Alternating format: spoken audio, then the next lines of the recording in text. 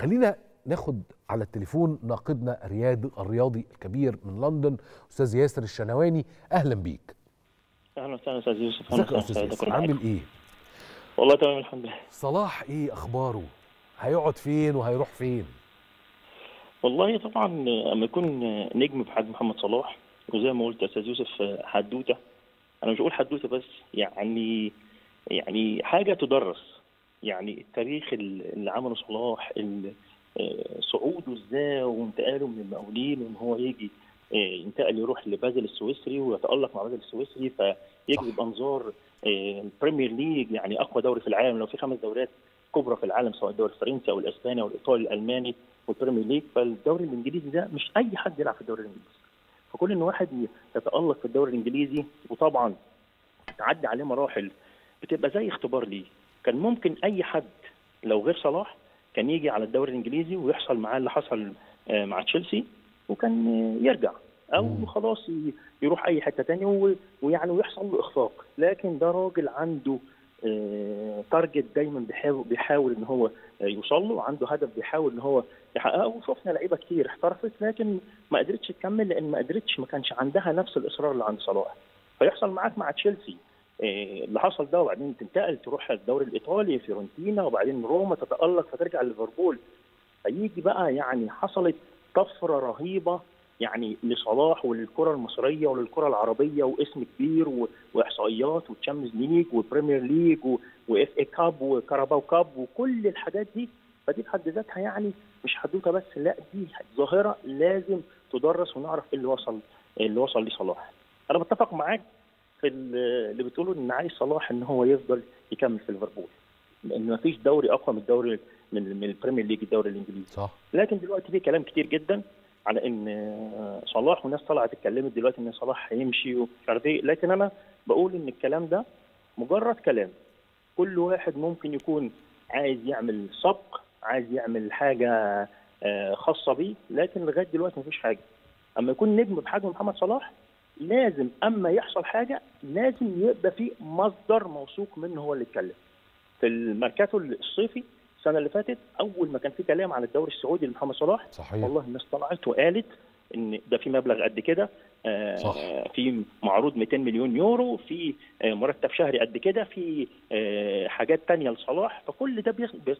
لازم يتقال خصوصا ال Premier League الناس عندهم أندية ال Premier League عندهم شفافية رهيبة جدا. نجم مثلا بحجم هاري كين متألق مع يعني نجم وكابتن الدوري الإنجليزي ونجم توتنهام هوتسبير أول ما قرر إن هو يروح بايرن ميونخ كله طلع واتكلم وقال بكل بمنتهى الشفافية.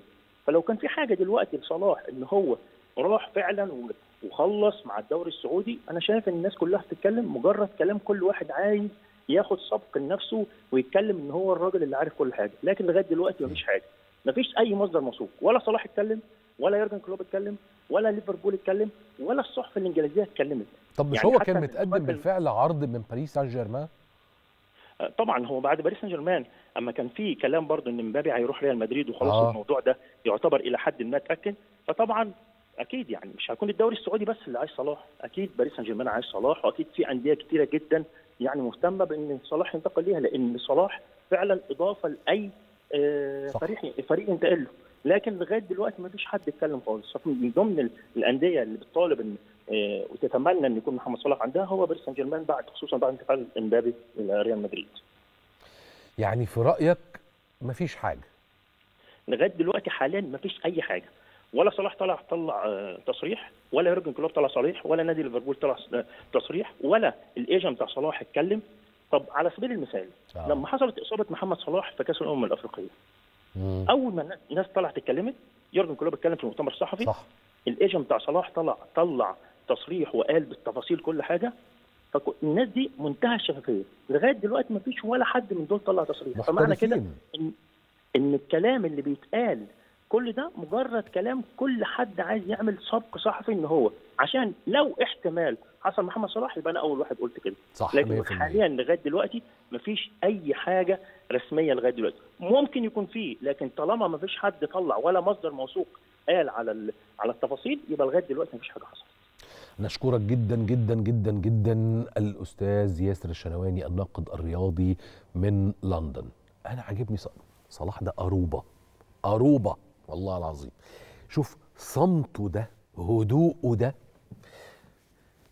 تقيل كده ما هواش خفيف صلاح مش كلي مش كثير الكلام مش دائم الظهور.